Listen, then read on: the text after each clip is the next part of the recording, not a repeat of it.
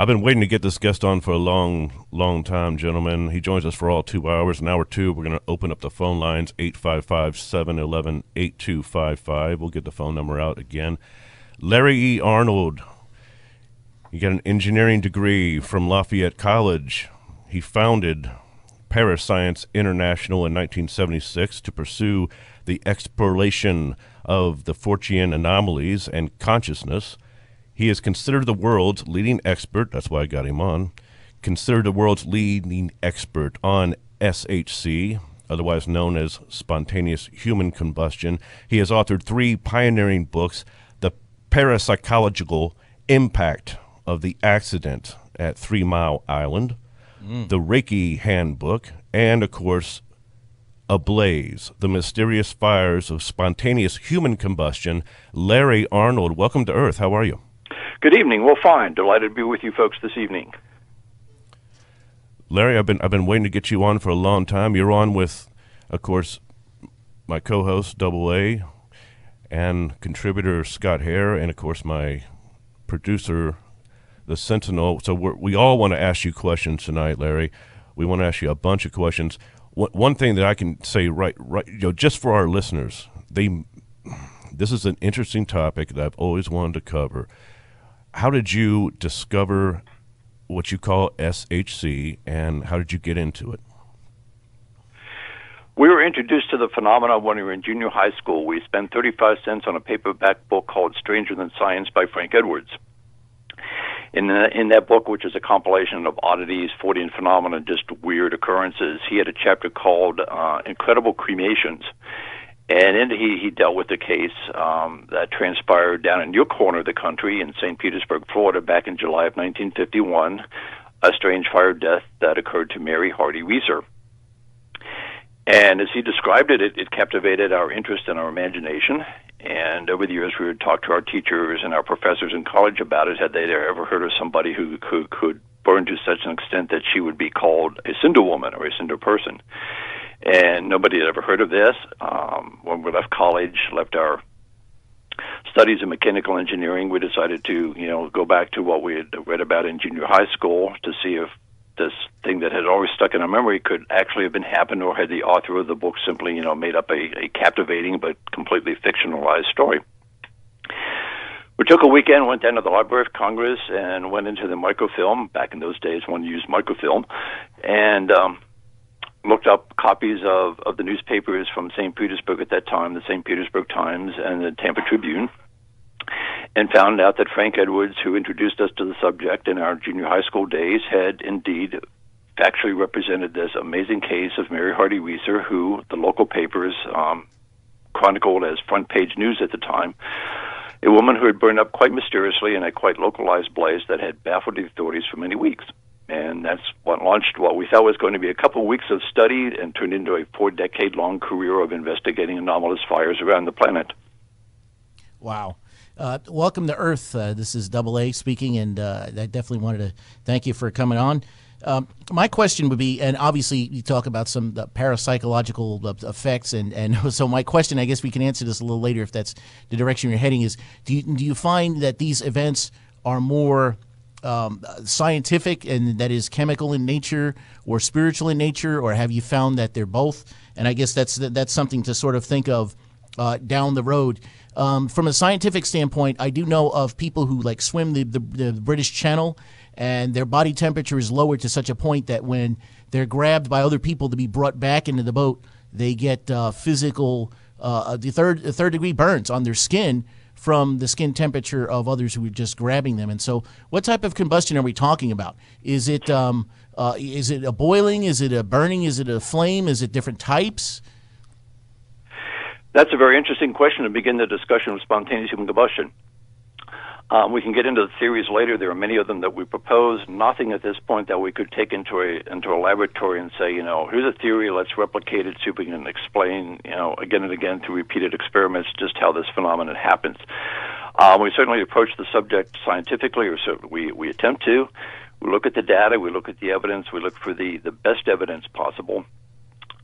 That both history provides us and that the first responders whom we've been um, honored to interview at some of these remarkable fire scenes have, have told us is their firsthand experience in these amazing fire scenes.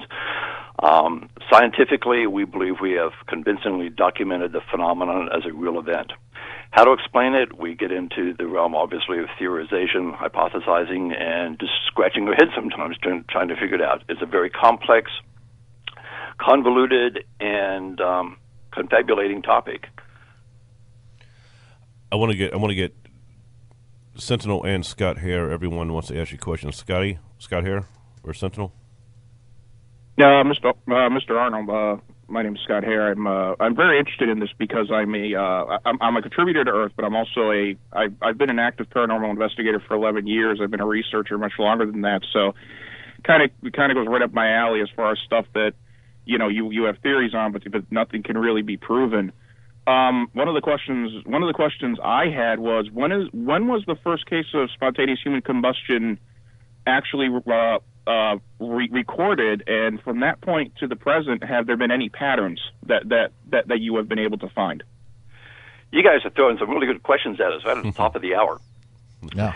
The the first recorded case we have been able to find in our research that is attributable to the medical literature uh, occurred in the late 1400s or early 1500s. The victim was a knight named Polonus Vorstius, and he was said to be drinking um, some spirituous liquors with his buddies, and suddenly he was observed to exhale flame from his mouth succumbed almost immediately to the injuries, to the uh, fiery death that he endured.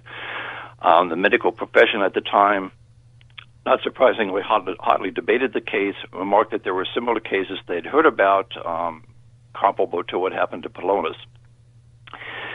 When we look at mythology and legends, however, we can trace back descriptions that fit the classic scene of spontaneous human combustion, aka what happened to Mary Reeser in 1951, uh, as well as two hundreds of others. We can trace accounts that go back several thousands of years. So we believe the phenomena has been with us for a very, very long time. Medically, as we said, we can trace it back to the late 1400s, early 1500s, and to this day we have several hundred cases that fit the concept of spontaneous human combustion, in which the body is burned, oftentimes, at least in the classic sense, incredibly severely, in a fire scene that is devoid of the kind of heat and flame damage that one expects to find even in a whole building structure fire.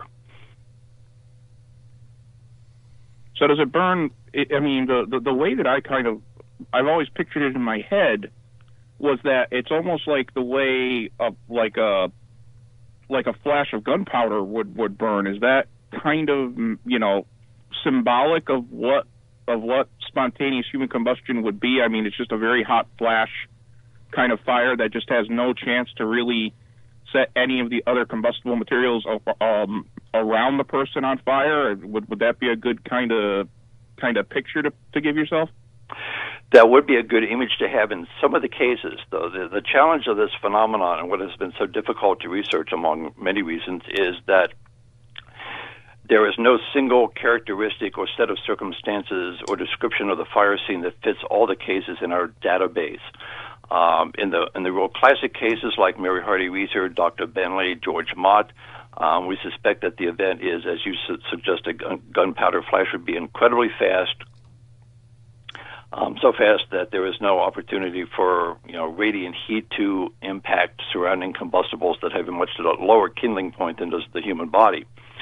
On the other hand, and we can get into this later if you choose, there were survivors and eyewitness cases in which the the, the instantaneous gunpowder gunpowder scenario does not apply. Uh, some of the fires burn very slowly. Many of them, if not all of them, burn without the anticipated um, painful experience that one one associates normally with being burned by fire. That's something interesting with uh, something interesting with, with the survivor cases, uh, and those are very interesting to me as well. Uh, what are the type of wounds that, that the survivors have? Are they very widespread? Is is it you know are, are there are there patterns to the to the type of wounds that that that, that survivors uh, would would would see? And I mean, what is how the the thing that kind of get, gets me is how do they survive it? I, I I think that's always been I think that's always been one of the toughest questions is how does one survive and then one basically, you know, literally goes up in flames. That is a real challenge to answer, and it's a real challenge to the debunkers of, of spontaneous human combustion, of which there are legion. Um, they tend to ignore the data that we've accumulated, um, having interviewed now dozens of people who have survived partial self immolation. The gamut again is quite extreme. Um, spontaneous human combustion survivors range from experiencing first degree burns, what happens when you get, uh, you know, um, sunburn, reddening of the epidermis, all the way up to severe third degree burning in which the, the flesh is charred to the bone. Hmm. Um, and, and by concept and by definition, anybody who has a sunburn is actually a survivor of spontaneous human combustion. Um, you're not near a, a localized nearby radiant heat source. You've not been exposed to caustic chemicals. You've not been um, standing near a, a radiant radiation source. You've not been exposed to anything that is attributable to a normal burning of the flesh condition. Science, in this case, believes they know what causes sunburn. It's radiation that uh, you know obviously originates from the sun, but that's 93 million miles away. The more extreme examples of spontaneous human combustion, though beyond sunburn, range in, as we said, from second degree up to third degree severe burning of the of this flesh. The the first survivor we were actually privileged to interview and to meet with was Jack Angel. And in 1975, he was a traveling salesman down in um, Georgia. He was asleep in his motorhome one night, expecting to meet with a sales client the following morning. He slept through that appointment. When he awakened, he discovered that his right forearm had been charred black, burned to the bone, as he told us, and we had the medical documentation to back that up and yet the pajamas that he slept in, the sheets on which his body lay during that time, were not burned in any to any degree whatsoever. Uh, a team of liability lawyers were looking at a big lawsuit against the manufacturer of the motor home in which Jack Angel suffered his injuries, in which he had slept during the, the period in which his body burned to that serious extent. Um, they tore the vehicle literally down to the wheelbase looking for, you know, plumbing problems, electrical shorts. They looked at the outside environment. Could he have been struck by lightning? Anything along those lines. They came up with zero. Um, had to pull the case from, from the docket um, literally just before going to trial because they could not meet the burden of proof to find any external cause to explain Jack's injuries. In fact, the medical records that we have for Jack's treatment at the Savannah General Hospital afterwards indicate that the burns, according to the attending physicians, were quote unquote internal in origin. Now, how can you have a burn that is internal in origin other than to say that the burning began within his body and burned outwards to the surface? By definition and by concept, that would be spontaneous human combustion. A severe example of it in which it could be survived. Huh. Wow. wow. So you mean to tell us? That's kind of what Jack Angel. So you mean to tell us burn. this wow. man um, fell asleep and woke up with his arm burnt to the bone? That is correct. We have no reason to doubt that. The medical records support it. Uh, the burn to his right forearm was so severe that he elected to have the forearm amputated rather than uh, endure several weeks, if not years, of painful reconstructive surgery. He had other attendant burn injuries at that time that caused other biological damage to his body that heretofore he had not experienced. He had fusing of, of, of the disc in the spinal column. He had burns in the nape of his neck and, and his groin area, all of which were unpainful to him at the time that they occurred. As we said, he slept right through the incident initially. Hmm. Debunkers have uh, have claimed that we, we we devoted an entire chapter in our book Ablaze to the Jack Angel story. The debunkers have claimed, well, Jack clearly couldn't have spontaneously combusted because Larry, we all know that spontaneous human combustion is an absolute absurdity. It cannot happen, so therefore there must be a known external cause. And they usually invoke that uh, Jack Angel had stepped out of his motorhome mm. to twiddle with the um, plumbing and scalded himself with hot water from the motorhome's plumbing unit. Well, we spoke to a number of, of service technicians who dealt with that particular brand of Avco motorhome. We've actually looked at, at, at a model of the motorhome that Jack slept in. We've examined the plumbing. We've talked, as we said, to the experts who deal with repairing such systems. And to a person, we are told that plumbing cannot explain the kind of burns that Jack experienced. Besides, if he had scalded himself with water, they would have been external, externally induced burns, obviously, and the physicians would not have ever come up with a diagnosis that the burns were internal in origin. Clearly, they would have said these are scalding hot water burns from the you know burn from the outside. So you know the medical testimony, the analysis of the of the fire scene, and the testimony of the attorneys involved in the case, both of whom we interviewed extensively in their office down in um, Atlanta, Georgia, all attest to the fact that the best evidence leads to the best conclusion that Jack Angel suffered from and survived the incredibly rare phenomenon of spontaneous human combustion, and he lived to tell about it. Almost every almost every incident that I've heard, um, that, and, and there's not many uh, that that are online. They're they're very few and far between. It seems. Almost every incident of, of this phenomenon I've ever heard involves the the victim sleeping or, or the victim being in bed. Is that is that what is is that the same with a great percentage of them that, that you noticed throughout the years that you've been able to to to record and look at, or or is it widespread that they could be standing or, or doing whatever? Um, the research says basically they can do, they can be doing whatever. Um, the only human activity that we have been able to identify so far that is commonplace, commonly experienced, commonly acted upon, that does not raise its head in the field of spontaneous human combustion is, shall we, shall we delicately say, amorous activity. Excluding that, people have been walking, standing, sitting in a chair watching television, um, apparently having a meal, um, sitting in a boat in the middle of a lake, uh, when the body can spontaneously ignite. You know what's interesting about the arguments of the debunkers is that they seem unscientific and circular to say that this can't happen because it just can't. It becomes a circular argument, whereas it seems like you're actually doing actual scientific work. And what's one of the uh, the least appreciated or understood things about people who do investigative work is you may not necessarily have the answer, but neither does the other guy. But at least you're not making circular arguments. So I can definitely uh, appreciate your scientific approach to it to at least try to explain, to first gather the facts to make sure that this is a real case, and then from that point try to understand it. So I, I like it. L- let me let me speak up for Larry real quick. Okay, mm-hmm. you, you, just did right there in a lot of ways. When when I first heard Larry Arnold interviewed, I'm, I'm sitting here listening to because this is just after Larry. You know, recently a case.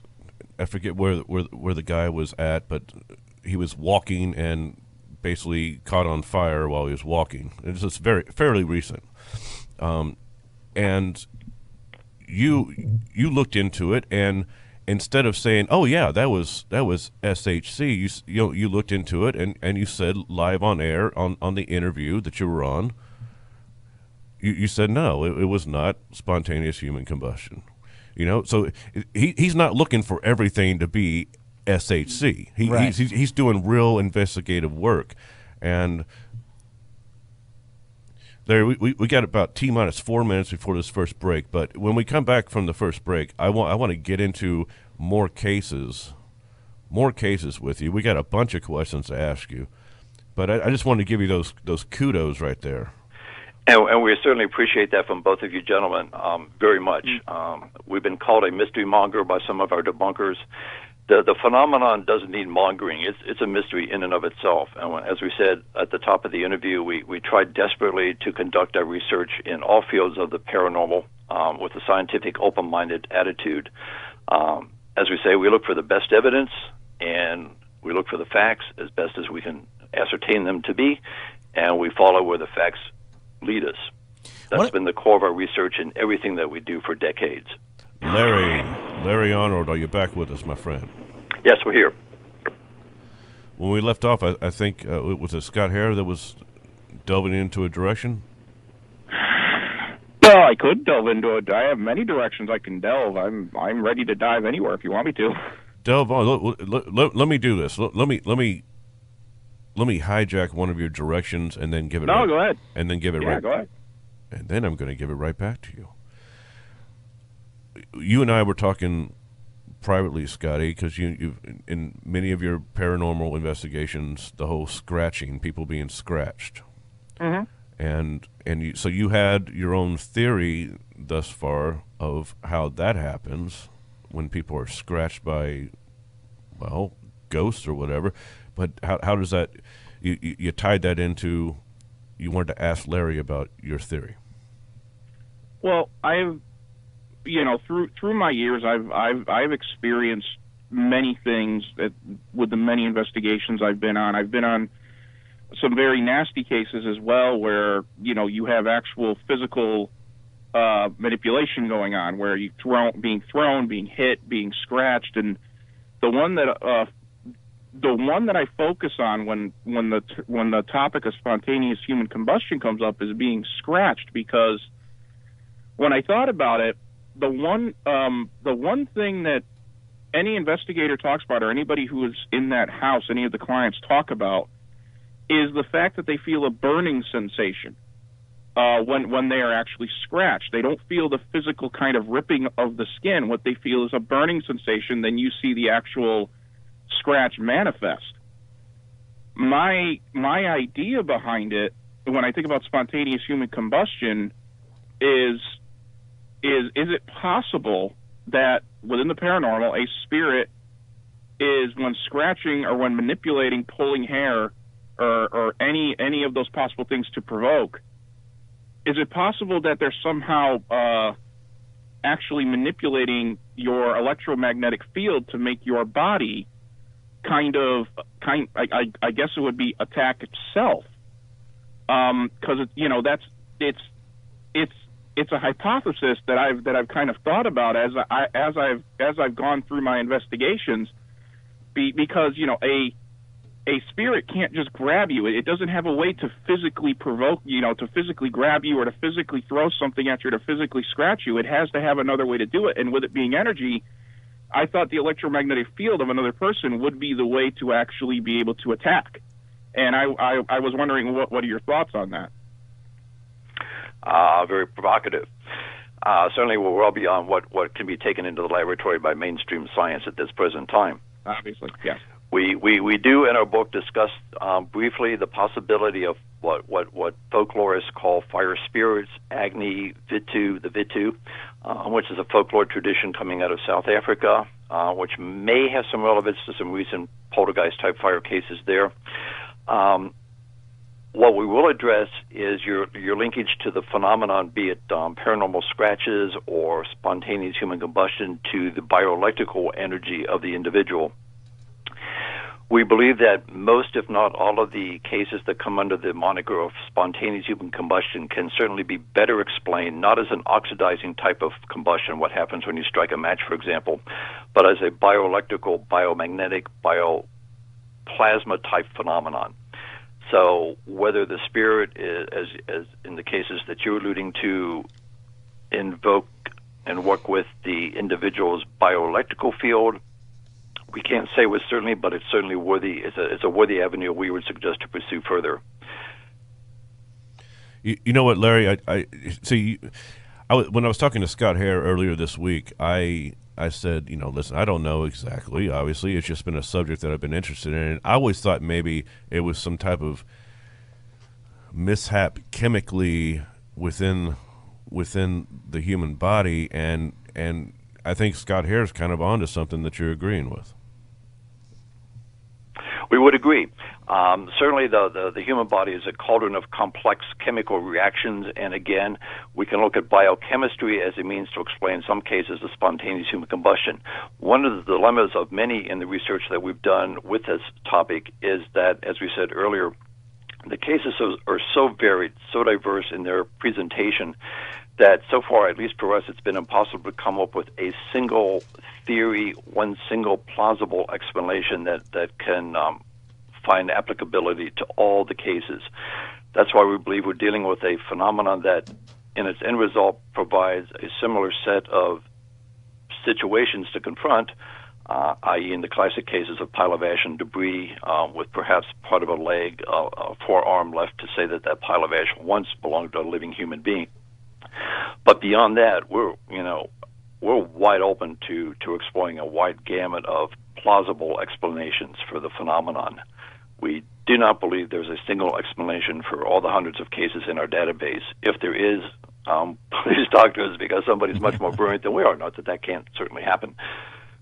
So now, as we get into possible solutions, or possible uh, causes before we even get into solutions. Uh, have you heard of PACTS? P A C T S. It's it's the uh, People Against Covert Torture and Surveillance International, um, and what people believe themselves to be targeted individuals, and uh, they formed a, an international society. And the reason I bring this up is because, as far as what percentage do you think could be, um, uh, you know, directed energy weapons? Obviously, this happened before. Uh, this has been going on before the directed energy weapons were a thing. But microwaves can certainly, uh, you know, do the same type of things, especially if they're aimed, whether it's from satellites or from certain type of microwave guns. And, and, and like you said, the, the, the complex uh, array of chemicals in the human uh, skin, maybe in the proximity to uh, uh, different types of electromagnetic radiation. What portion of that do you think uh, could be a new phenomenon that comes from that type of targeting, if it exists? Ed, that's, that's a new a new acronym to us. We're not aware of that organization until now. Um, as to what percentage could be attributable to directed energy militarized weapons yes. that, that could lead to spontaneous human combustion, we say the percentage is extraordinarily small. Okay. We're not rule it out. We do have cases in a book where people have been burned by radar units, which emit microwave radiation. We have a case mm-hmm. of a hang glider who was spontaneously burned because he flew into the path. He glided into the path of the PAVE PAWS radar units on Cape Cod. Okay. But as you rightly point out, the, many of the cases significantly predate, you know, this kind of high-tech weaponry. Yes, the military does have directed energy weapons that can cause debilitate the target at a distance due to either sonic waves or microwave projected radiation.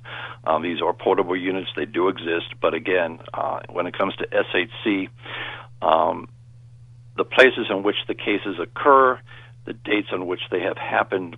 Uh, go well beyond the ability to attribute most, if not all, of the cases to directed energy weapon explanation. Okay. What about um, what about going along the same line of, of double A? What about a introduction of a chemical agent uh, to somehow to the body or to the bloodstream? Could that uh, is is there any plausibility to that with, with, with some of the cases you've researched? Again, we can't rule it out. We don't have the security clearance that will allow us with any degree of um, insight to to to go significantly deep into any answer to that. Um, on a flight back from doing a television program in in, in California many years ago, uh, we were discussing the subject with a seatmate, and he clearly worked for the government in high level clearance type research, and he hinted to us that the government did know about spontaneous human combustion and definitely commented that we needed to look further into that angle. But again, we lack the, the necessary security clearances to go very far in that direction. So somebody listening has those security clearances and wants to wants to um, you know hint hint hint at us. We're happy to hear from them. has um are, are are any of the remains of any any of the the SHC victims that you studied still still around anywhere? And is if if possible, to get those remains, is there any possibility of getting DNA off them? Ah, very interesting question about the DNA. As far as the remains themselves, um, we know we know the burial places of a few of the, the more recent victims. Mary Hardy Reeser, for example, much to our astonishment when we discovered this, her ashen remains, which consisted of a few pounds of calcined vertebrae, um, a foot, and what was said to be a, a skull that shrank to the size of a teacup or orange. Uh, those remains are interred at, at, a cemetery just south of Mechanicsburg, Pennsylvania, which is about 10 miles from our office here in Harrisburg, Pennsylvania. Um, we've never been given the opportunity to have those remains interred, and frankly, I think legally it would be very difficult to do that. The remains of Dr. John Irving Bentley, another classic case of spontaneous human combustion. In fact, the one that really captivated our interest and, and launched us on a new scientific career. Um, his remains are buried up in Galeton, uh, Pennsylvania, not too far from where he self-immolated in Coudersport back in 1966.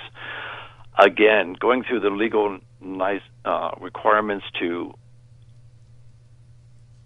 access the, the, the, the burial contents of those victims is probably beyond our budget and interest at this point to pursue. Not sure it would be fruitful.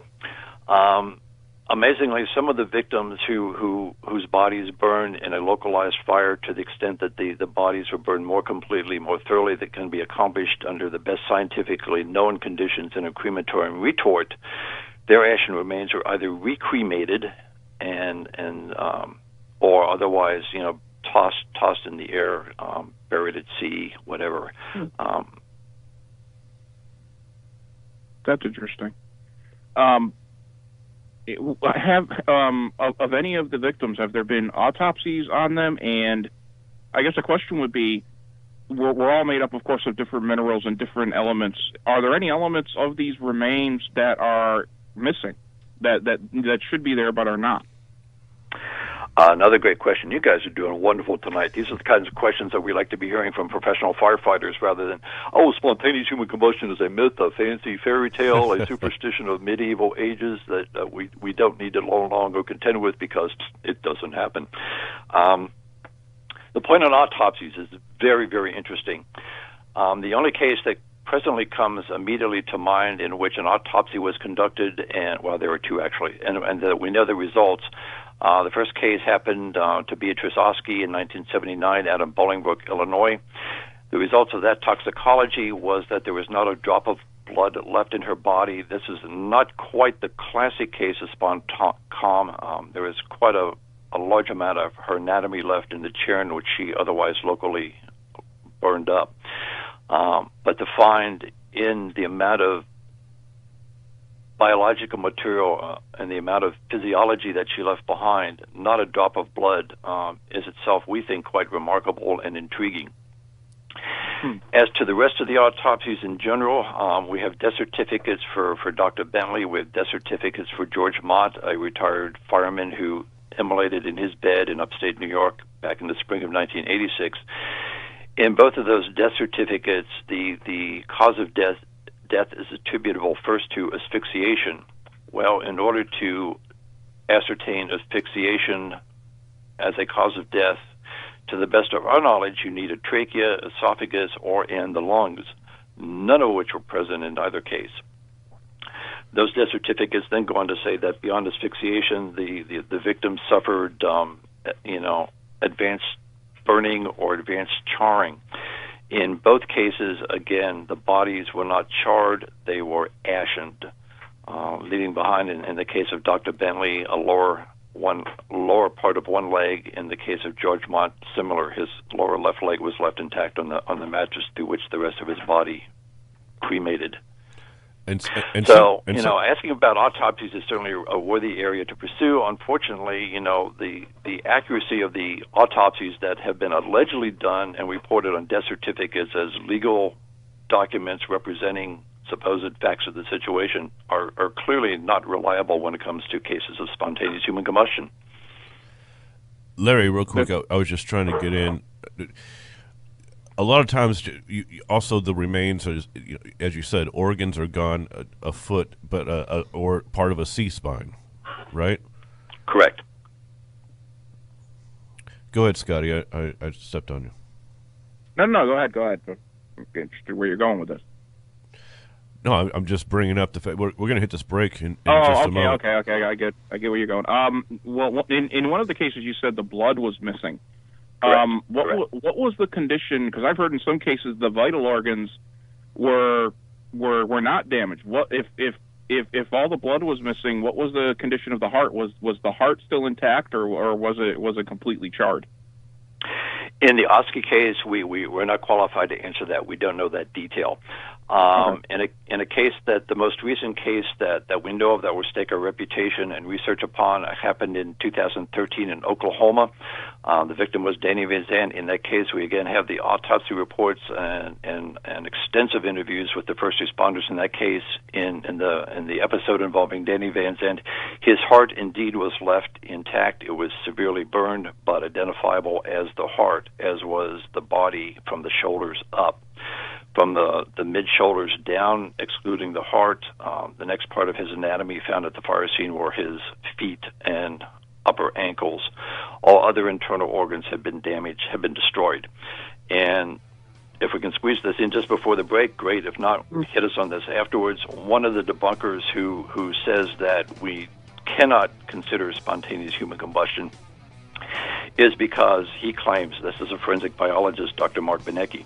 He says even intestines, stomach, liver, heart, uterus, bladder, etc., in other words, all internal organs are well preserved, even in the most severe burn cases. He adds that there are in the forensic practice no known cases in which internal organs of a burned corpse were damaged more severely than the outer parts. End quote. On that basis, he contends that spontaneous human combustion has never occurred because there is never a case in which internal organs are more damaged than external body parts. Larry, that Larry, is Larry, simply not true. Larry, hold on right there, my brother. We'll be back. Short segment on the other side. This is Earth. Larry Arnold, our guest for tonight's program, world's leading expert into SHC, otherwise known as spontaneous human combustion. Larry, it's a really short segment right here before we hit our hard break to begin the second hour. So I want to give it over to Double A. You, you have a question, real quick. In, in hour two, I definitely want to bring up a lot of cases with you, Larry, and to, so you can describe those in deftly. But Double A or Scott Hare or Sentinel. I'm good. I just wanted to thank you for coming out on the show, and definitely want to make sure you you, you plug your all of your information. So I might schmooze you for a book uh, with with an autograph. that's okay. possible. I've got a, uh, a question here, real quick, and I'm I'm okay. sure it'll be a quick answer to it. Uh, it's called spontaneous human combustion for a reason, obviously, but is there any cases involving some other kind of animal or something like that, other than human beings, mm. that uh, that might have suffered the same fate? Yes, we devote a few pages in our book Ablaze to SAC, spontaneous animal combustion with cases occurring, um, witness cases in some instances to dogs, cats, uh, livestock, um, like going the- up in balls of blue wow. light, blue flame, if you will. Mm. Um, and as many of the cases that have been witnessed in, in terms of humans suddenly igniting into flame, the color there, most often reported being observed, um, is also a bright blue hue the, the kind of intense blue that you, you see at the, the tip of a, a lit acetylene torch, for example. Wow, interesting. Because um, is and, and does that cross over into like the animal mutilation thing, uh, where where people get all weird and they t- start talking about UFOs and all that kind of stuff?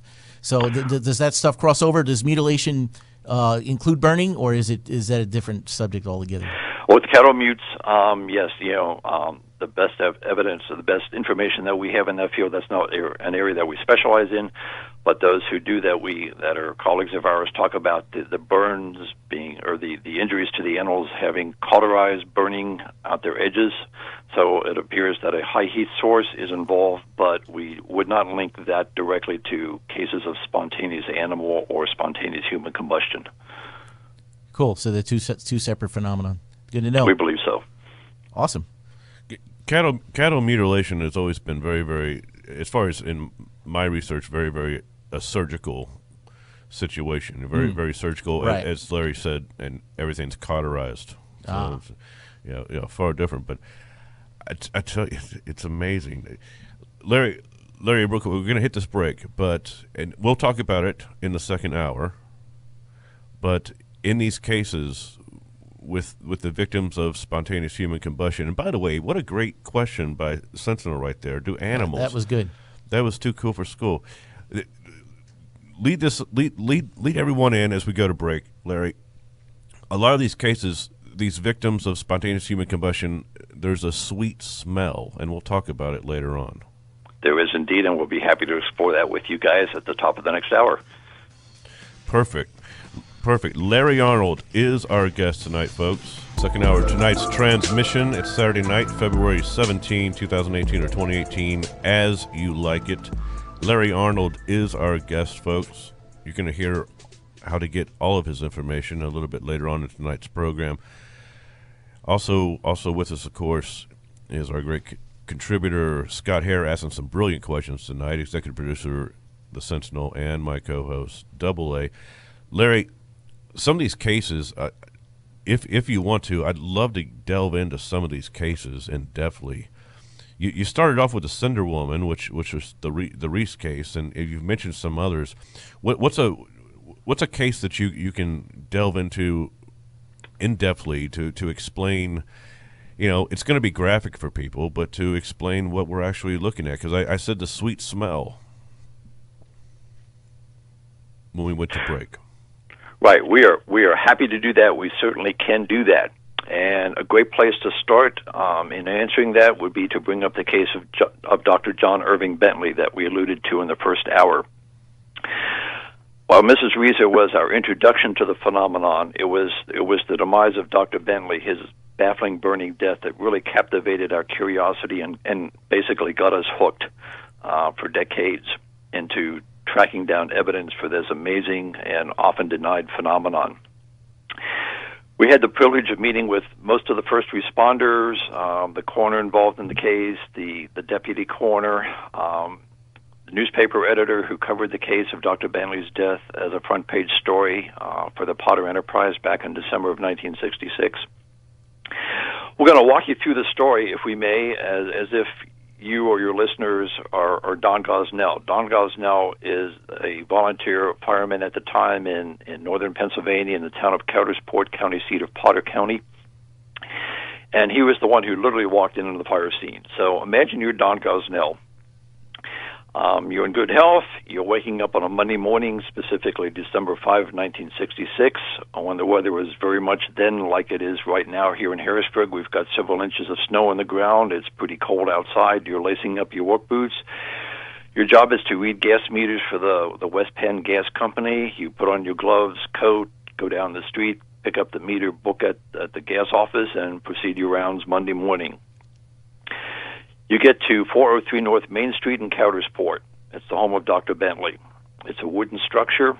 Dr. Bentley is the only occupant of the house at the time. The front door is unlocked. People did not lock their doors in Coudersport back in 1966. You walk in, go down the hallway, and yell a happy good morning greeting to Dr. Bentley as you walk down the hallway past his two room apartment. You don't get a response. No big deal. You continue down the hallway, make a right turn, proceed down the basement steps read the gas meter down there in the basement. As you're turning to go back upstairs, you notice on a corner of the earthen floor a pile of ashes about five inches in height, 14 inches in diameter. As Don Gosnell, you're also a volunteer firefighter. You walk over to that pile of ash. You're curious. Something must have burned here. Wonder what it could be. You kick it with your work boot. Where did the ashes come from? You look overhead. There's a two by three foot hole in the basement ceiling. A couple cherry red embers on the perimeter of that hole. You think to yourself, as Don Gosnell told us he thought to himself at that time, hmm, something must have burned here overnight. Wonder why we didn't get a call at the fire department to respond. You go back upstairs, and now you notice again a, a, a grayish white smoke in the hallway and a sweet odor in the hallway. Before you leave Dr. Bentley's home, you yell out your second greeting that morning to old Doc, wish him well, but get no response. You decide to check in on Dr. Bentley because his apartment door, like the front door to his house, is unlocked. You open the door and peer in. You know that Dr. Bentley lives in a two room apartment consisting of a sitting room and an adjoining small bathroom. You don't see Dr. Bentley in the sitting room. Well, maybe old Doc, who's 92 and, and presumably good health but aged, you know, is in the bathroom. You, you step into the apartment, peer around the corner into Dr. Bentley's bathroom, and see a hole in the floor with what you first think is the leg of a mannequin lying on the linoleum flooring. You think, why would Dr. Bentley have a mannequin leg in his apartment bathroom floor? You peer down to look closer and suddenly realize it's not a mannequin's leg, but it's a human leg. And then you realize where the ashes in the basement came from. You run out of the house down the street and into your gas office and yell the understatement of 1966 Dr. Bentley's burned up. Hmm. Indeed, he had, but in a way that made no sense to Don Gosnell as a as a volunteer firefighter, made no sense to the deputy coroner, made no sense to the coroner. It made no sense to anybody. Dr. Bentley's legacy, if you will, to the world of fire science is one half of one leg and a pile of dry, ashen powder that the night before had belonged to his approximately 175, 180 pound body now weighed less than three pounds, leg excluded. We were at the fire scene after some reconstruction had been done, but largely the fire scene was intact when we got there 10 years later. The hole in the floor had been patched, but we were down in the basement. We could see that the oaken beams, the supports for the flooring, had almost been burned completely through. It takes a tremendous amount of heat for a very long time to burn through nine inch oaken beam braces. The linoleum in Dr. Bentley's uh, flooring was old tar based stuff, highly flammable material. Beyond that two by three foot hole through which his body immolated, the linoleum floor was intact. Dr. Bentley used an aluminum walker to help him locomote through the apartment. The aluminum walker was lying askew above the hole. The aluminum, which melted 1200 degrees Fahrenheit, was completely intact, save for two rubber tips on his legs that had been blown off. Directly above one edge of the hole was Dr. Bentley's bathtub. The bathtub had paint on it. It was enamel paint, not baked porcelain. We were at the fire scene, and we can attest that the paint on the edge of the bathtub was blackened by carbonization. The paint did not blister. Dr. Bentley's bathroom ceiling was low. We're six feet tall. We could outstretch our hand and touch the ceiling. There was not a scorch mark, a heat mark, any distortion, any discoloration, any damage to the ceiling above the hole through which Dr. Bentley's body burned it down. Dr. Bentley burned it down, not up. And as you remarked before the, uh, the the break at the top of the hour, and as we think we said, if not, we'll say it now. Don Gosnell noticed a sweet, redolent perfume-like aroma at the fire scene. Again, quite atypical of a fire scene of, of normal conditions, where there is burned flesh present. As we said, Dr. Bentley's official cause of death was asphyxiation, according to the death certificate filed here in Pennsylvania. That simply is not true. How can you? No, how? Yeah, that's a great question. How could how could how could the uh, coroner list cause of death as asphyxiation? There was no trachea, no esophagus, no lungs. All internal organs were completely destroyed. Mark Benecke, pay attention by your own qualifications to dismiss SHC, the case of Dr. Bentley alone proves the validity that spontaneous human combustion is, by concept and by definition, an event that must come, that officials in the fire science and the medical communities must come to terms with. That is Dr. Bentley's legacy to the world. Wow. So, speaking of coming to terms, are there professional fire people who have uh, supported you or come to terms uh, with uh, you know, spontaneous human combustion, or, or at least uh, don't rule it out as a possibility. Yes, blessedly they are, but they are almost as rare as is the phenomenon itself. Mm. Here in Harrisburg, Don Conkle, who used to be the city fire chief, now retired. He continues to teach fire science at the local community college. Bless his heart, he has us come in every year since the book was published in 1996 to teach a special course to his fire science students about the unusual, extreme, weird side of fire behavior. Um, in, in, the Van Zandt case from Oklahoma in 2013, Sheriff Lockhart was open to the concept of spontaneous combustion as a retired arson investigator before he was elected sheriff of Sequoyah County. He knew what he should find at a fire fatal fire scene in the case of Van Zandt. What he found belied everything that his years in arson investigation and training as a fire investigator told him he should be looking at. He was looking at something very different. Uh, Rick Russell, the fire chief for the, the first responding fire company in the, in the Van Zandt case, also um, is willing to, so far as we still know, uh, support the premise of spontaneous human combustion as the best explanation for the demise of Danny Van Zandt. His fire, again, was a very localized fire scene. As we said earlier, um, Mr. Van Zandt left behind his upper shoulders, the head, his heart, um, a short segment of his backbone, and then we get down to his feet and ankles. And the rest of the internal organs, pancreas, liver, lungs, all decimated unrecognizable damage, you know, just just burned up. They just were not present and identifiable as those organs. No damage to the ceiling overhead, minimal damage to the refrigerator against which the body itself burned. The fire, again, as, as Chief Russell told us, began with and ended at the body. body. Mm. And this is what we hear again and again from, from those fire officials who have been at these remarkable but as we want to emphasize, also extremely rare fire scenes. If they are being honest, when they are being honest, um, they are left with a mystery that they're ill prepared to grapple with because their fire science training has not prepared them to realize that such fire scenes can and do occur.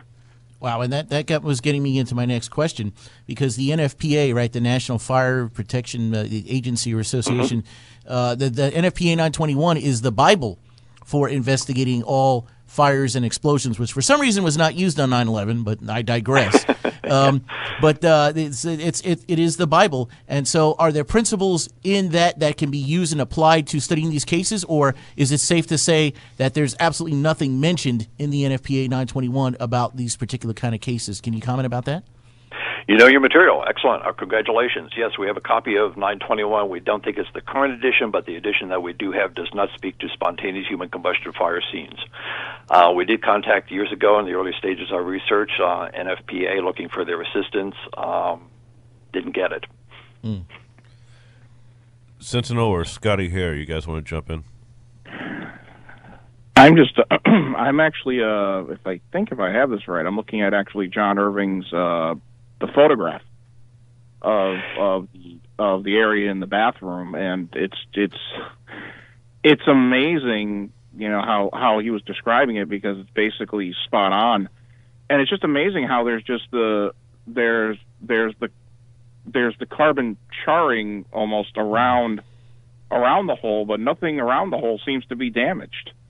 It's know, it's it's I I can't even explain it. I mean, there there seems there's a basket on on the uh, on on the walker, and and mm-hmm. the the the small aluminum on the basket isn't even doesn't even look to be warped.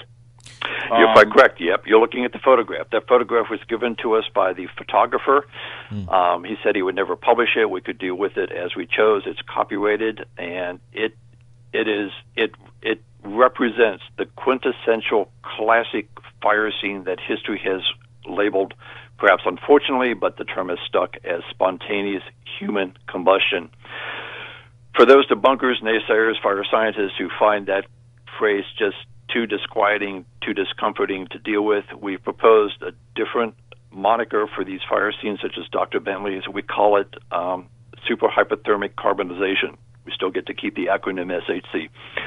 Um, it, it, it demands that fire scientists add a new category to burn injury classification. When we began our research, there were three there were three there were three classes of burns: first, second, third degree. First degree, as we said earlier, was is a sunburn. Second degree was when the epidermis is blistered. Third degree was basically everything else, what it was called severe charring. Since our research began, they've added a fourth classification of burn injury, which is deep char, um, where, where, where burn damage can get down into you know muscle tissue itself. In whole structure of fires, when the house, when the building burns down around the the fire fatality, invariably you can pick up that body intact, take it to a morgue, and as you've said earlier, it can be autopsied. We can find the cause of death because usually there's, you know, the trachea is left. We can say, yep, this person asphyxiated. He was not murdered. It's not a victim of foul play.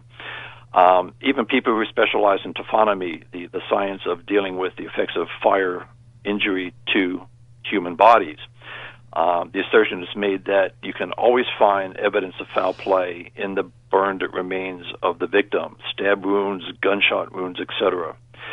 In extreme burn cases, which would be in our classification a fifth degree burn injury, i.e., Mary Reeser, Dr. Bentley, Mr. Van Zandt, and scores and scores of others. This requires a new burn classification because these burn injuries, as you're describing the Dr. Bentley photograph, far exceed a fourth degree burn injury. Mm. And you will not find at these fire scenes evidence of stab wounds or gunshot wounds or any other, you know, criminal act. There's just not enough of a body left to ascertain the presence of such foul play if indeed it occurred. In the Reeser case, it was alluded to, well, yes, she was burned off premises, and the criminal brought the ashes that he burned of Mrs. Reeser from some other location back into her apartment and sold at the scene. That's preposterous. That makes no criminal sense to us whatsoever. But so extreme and so perplexed were the was so extreme was the burn scene, and so perplexed were the individuals that they were actually willing to consider silly scenarios like that rather than grapple with the possibility that Mary Reeser died by spontaneous human combustion. Now, the, the whole either sounds like something uh, just straight out of a scene from the Alien movies with the with the blood that that was acid that would go through floors or whatever. But also, uh, what I'm thinking, the the way you describe these burns, would they be similar to something like, for example? People who have lightning strikes or something like that, where maybe their insides would get cooked, and and maybe uh, an electric spark that came down, uh, you know, lightning style, would would that uh, you know? What do you think as far as um, how does that compare to something like that? Our familiarity with lightning strike victims, and we've spoken to some of them. Um, we know we know Roy, Sullivan, who I think still holds the world record for having been struck nine times by lightning before he finally met his physical transition by means other than lightning. Lightning strike victims do not exhibit the kind of burn pattern or burn injuries that we find in classic spontaneous human combustion fire scenes. We're dealing with something quite different. Mm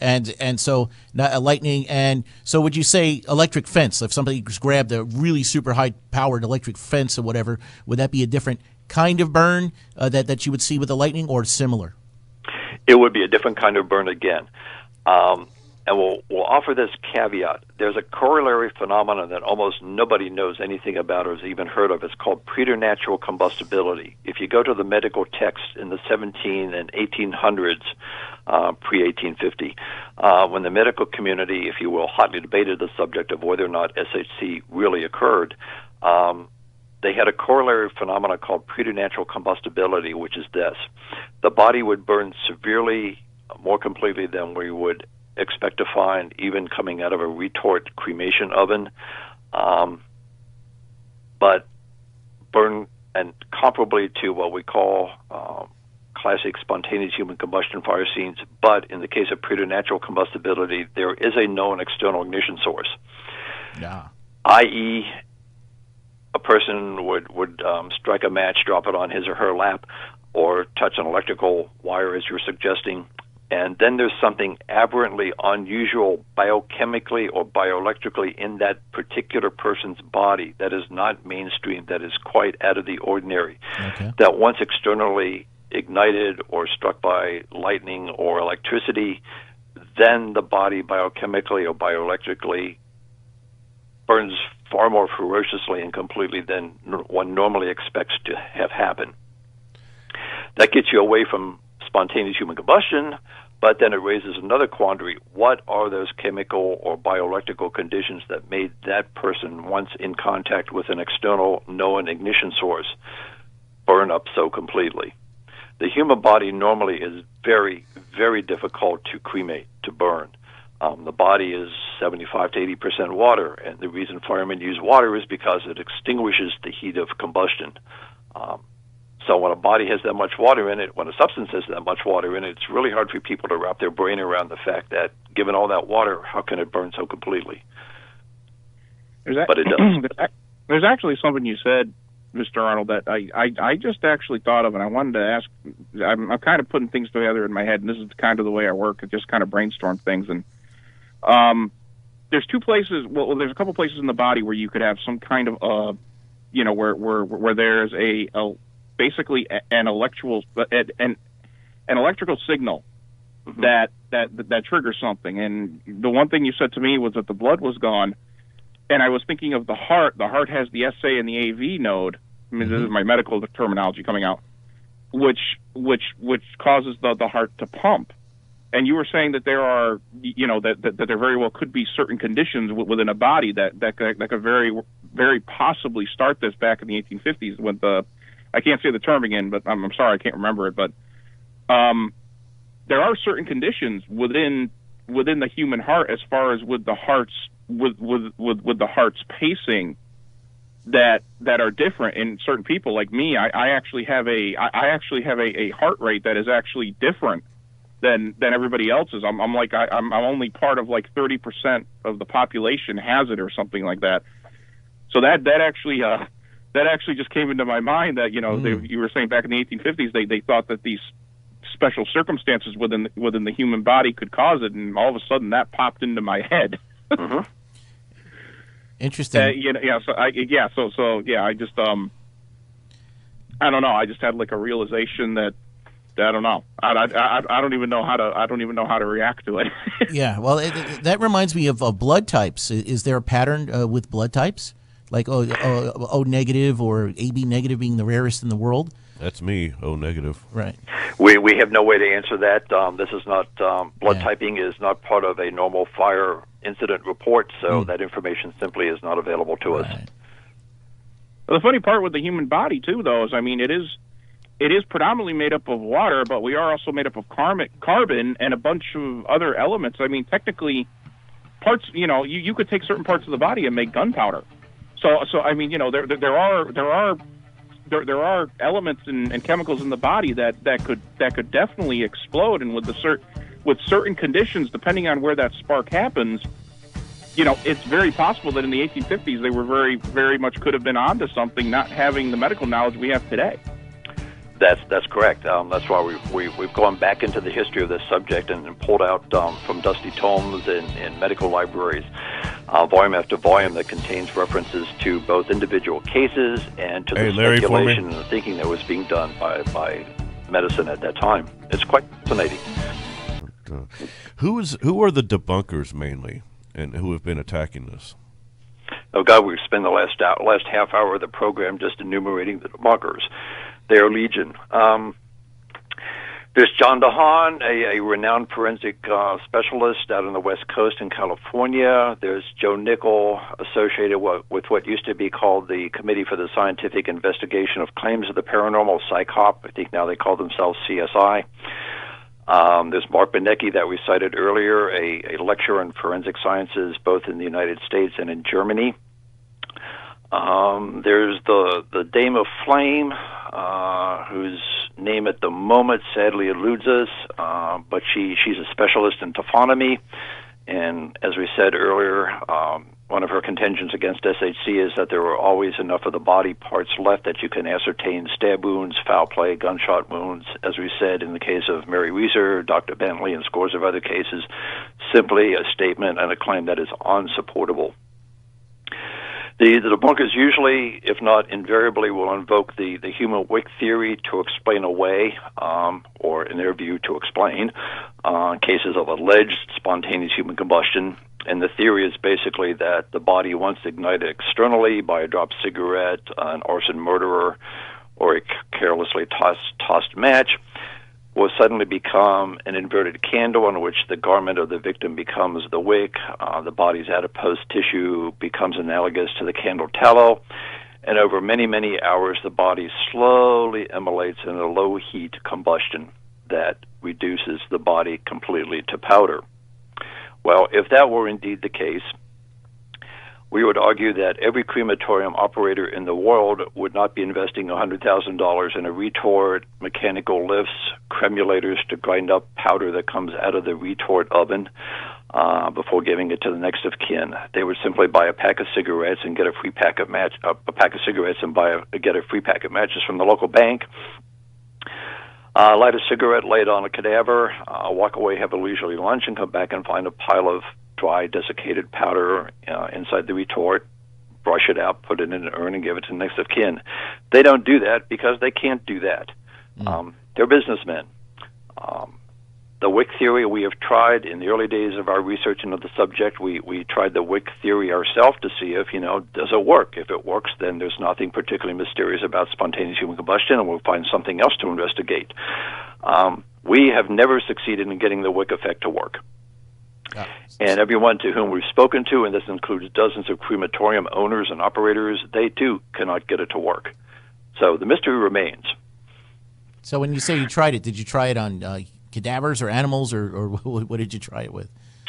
What we did um, was take uh, ham shanks, um, okay. pork bones, very similarly to human tissue, so it's a good stand-in for this. We did not uh, use human cadavers; don't have access to those. Though we've spoken to crematorium operators who clearly do and they get the same results that we get, um, pretty much. Um, we would wrap our ham shank um, in in flannel, um, light it externally, and wait to see what happens. Uh, it was once claimed that victims of, of of spontaneous human combustion were always elderly, always female, always sedentary, and always alcoholics. So we took another sample of ham shank, soaked it in a marinade of whiskey, brandy, and vodka for an entire year. Believe us, this ham shank was saturated alcohol with alcohol. Wrapped it in flannel, lit it, and after an hour, this is an experiment that we did uh, on camera for the BBC uh, program in 1999 about the subject. At the end of the hour, with an unlimited supply of oxygen and a light breeze to fuel the ignition process, 99% of the ham shank was still intact.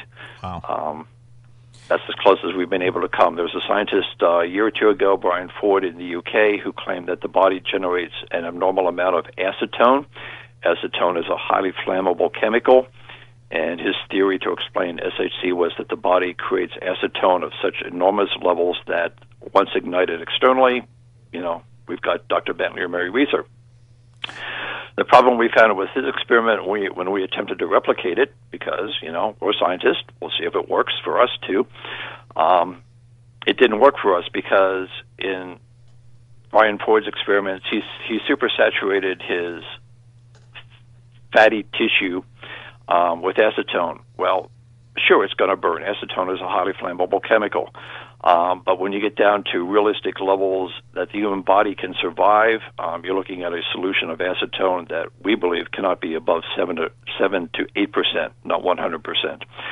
At at those levels, acetone will not self-sustain a, a combustion in a in a ham shank sample, which is the experiment that we conducted.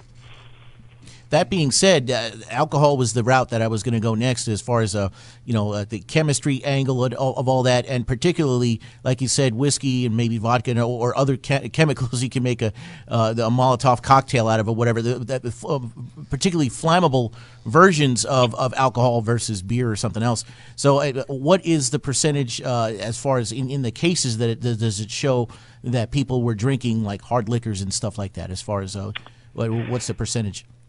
Uh, we're going to make a guess at that because we don't believe, at least we can't recall having done uh, a data analysis of how many of the victims in our database were known to be alcoholics. Our guess, and this is just a really crude guess, it's probably about 30, 35% were said to be alcoholics. Okay. Which seems um, uh, kind of high, actually. So yeah. yeah. Um, most of the victims in the database are elderly, uh, going back to the, the parameters that the, the medical community in the 17 and early 1800s, you know, posited as always having to be present. Uh, most of the victims are elderly, and, and that doesn't surprise us as, as the body chronologically ages, you know, biological processes tend to break down, and, and you can expect more aberrant things to happen to the body's physiology. As to all the victims having been uh, female and alcoholics and sedentary, that is clearly not supportable. Uh, our database of more than 500 cases now that fit the concept of SHC, 50% are female, 47% are male, 3% history just does, does not tell us the gender. Wow. And so uh, you mentioned acetone. What, what part of the body would you find uh, acetone, or what part of the body did you did you find acetone or, or levels of that? Um, where, where would it be generated? Yeah, um, Brian Ford, we believe, you know, posits that that at the cellular level throughout the body, acetone could be generated, um, but but as we found, you you can't the body can't generate a hundred percent concentration acetone. It just you know the the okay. person would would die long before that could conceivably happen. Um, and plus the the the the, the, the experiment that he did, he he he took a sliver of fat, wrapped it in, cl- in basically cheesecloth, um, and, and torched it. Um, the body is not 100% fat. Um, those who who, um, in fact, uh, we mentioned John DeHaan earlier as one of the proponents of, of the Wick theory and one of the prime naysayers of spontaneous human combustion. In one of the experiments that he conducted for television to prove the Wick theory explains away spontaneous human combustion, he took a fistful of candles, wrapped it in, in flannel, and, and lit it. Well, anybody who believes that the human body consists of 100% candle wax is a fool and uninformed. um, it's bad science. Um, a man of his reputation should never have conducted that experiment for television and in, in for any other venue. Uh, it just speaks to, in our view, the, the desperation in which the naysayers of SponCom will go in order to not have to face the facts and the evidence that, that we've amassed in our decades of research. It's always amazed me, Larry, in, in many different subjects that we cover on this show, the debunkers they they they will i love that you mentioned bad science because they always use bad science to to to debunk you know people who are doing real science and real research it, it, it and it happens on so many different levels so many different subjects uh, i'll give you time to respond to that scotty here if, if you have anything for for larry I like I have a bunch of things going through my head. Uh, Good. um, you know, I, I you know, I, I go back to my paranormal roots and stuff. It, it have have there been any have there been any cases where you have heard anything about through family connections or anything about uh, any kind of paranormal activity within the houses or maybe alien abduction?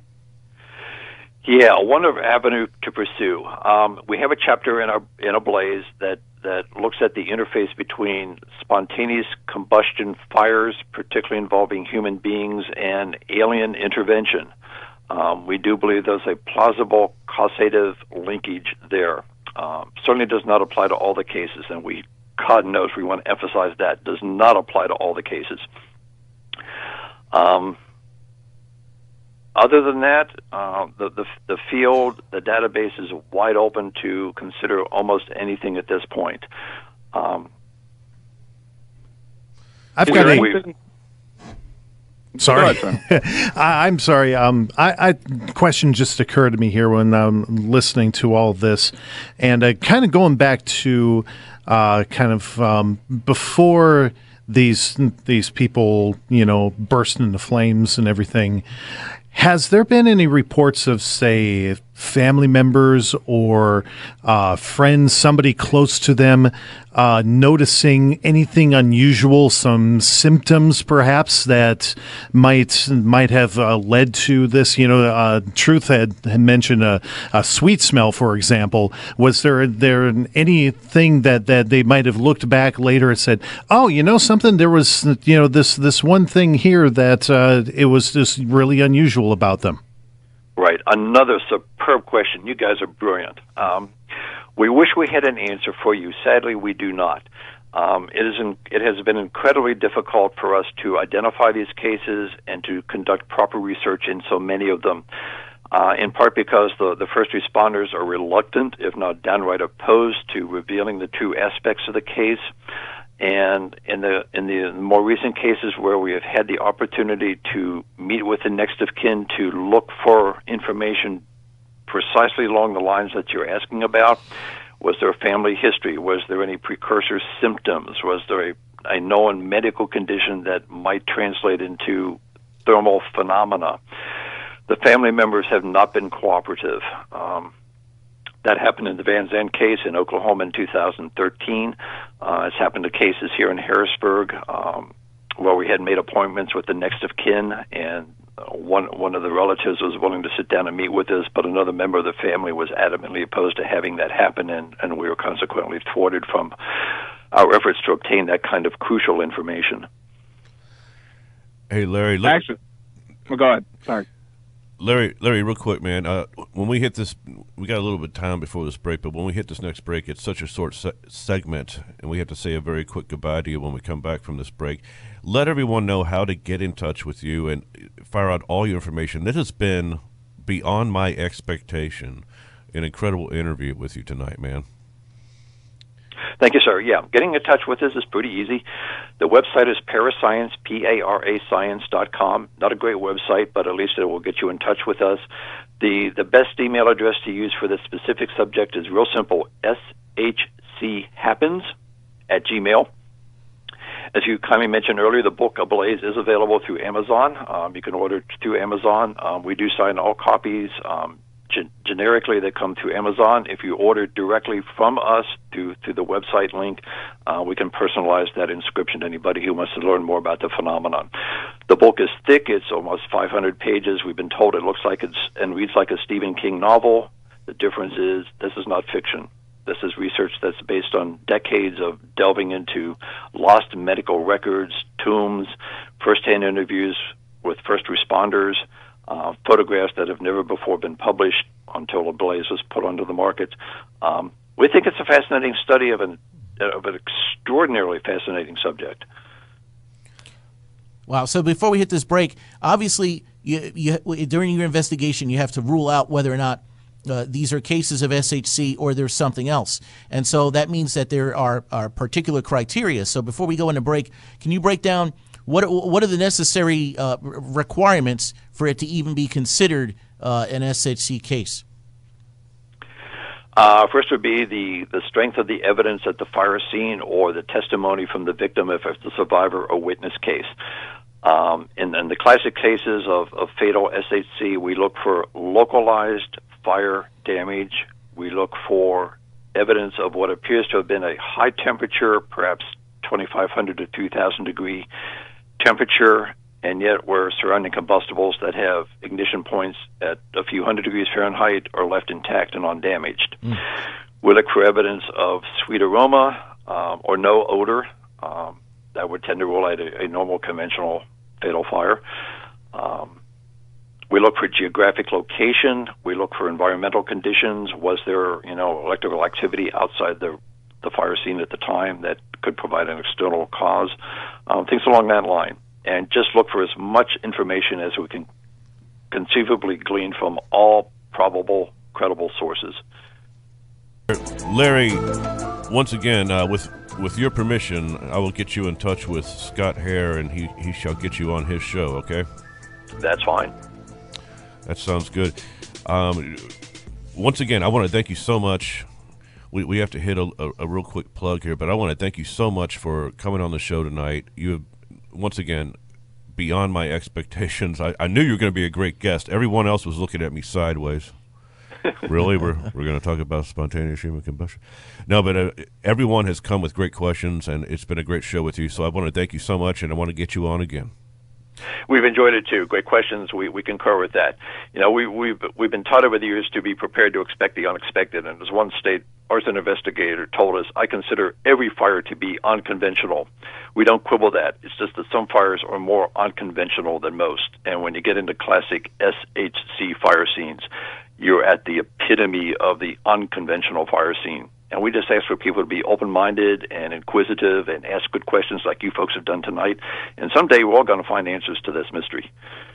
Definitely. Well, you know, fire was a conventional thing, it wouldn't be a big deal. So, so I definitely appreciate uh, you coming on and uh, and uh, breaking it down for us forensically and everything else. So, thank you so much. You're most welcome. Thank you so much, Larry, and I'll get you in touch with Scott. Best to you all and to your listeners. All right, that's Larry Arnold, everyone. Great guest right there.